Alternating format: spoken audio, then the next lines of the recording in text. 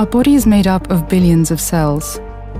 These cells use various proteins to help them perform vital functions, from processing nutrients and eliminating toxins to regulating physiological reactions and defending the body against infection.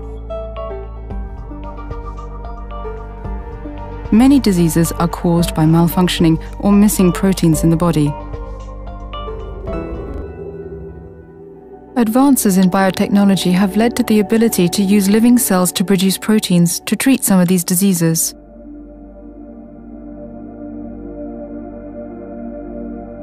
Genzyme uses long-established, proven techniques to modify mammalian cells by equipping them with a piece of human DNA so they can produce therapeutic proteins.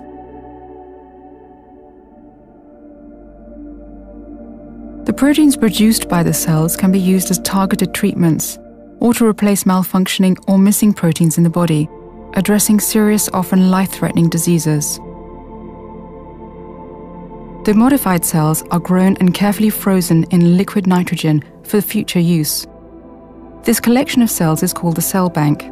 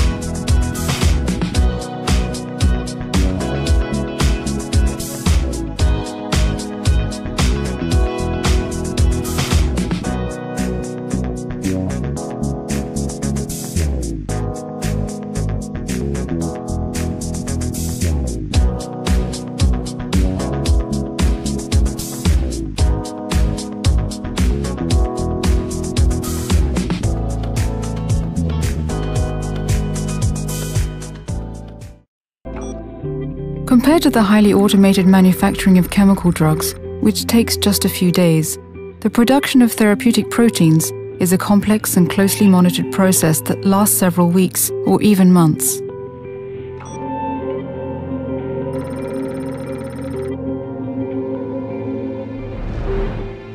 This process starts with the thawing of a vial of cells from the cell bank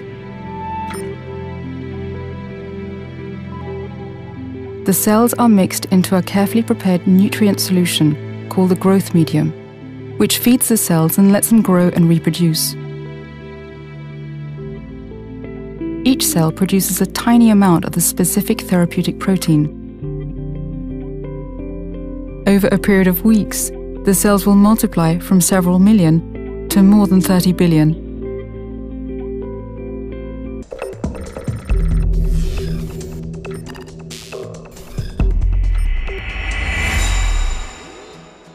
The production of medicines faces demanding safety and efficacy standards.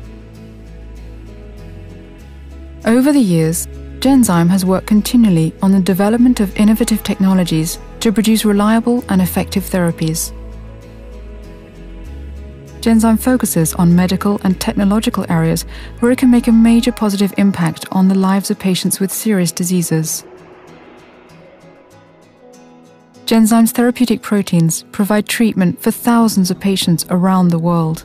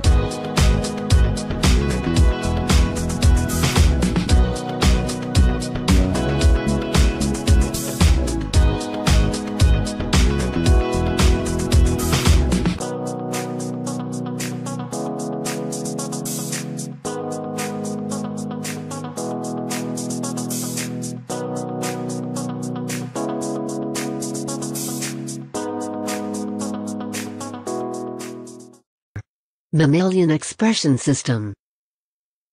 Recombinant proteins expressed in mammalian cell commonly use plasmid transfection and viral vector infection.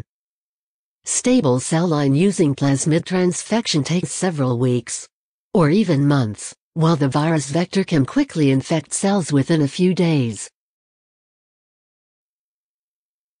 The temporal and spatial differences in protein expression, the expression system can be divided into transient, stable, and induced expression systems.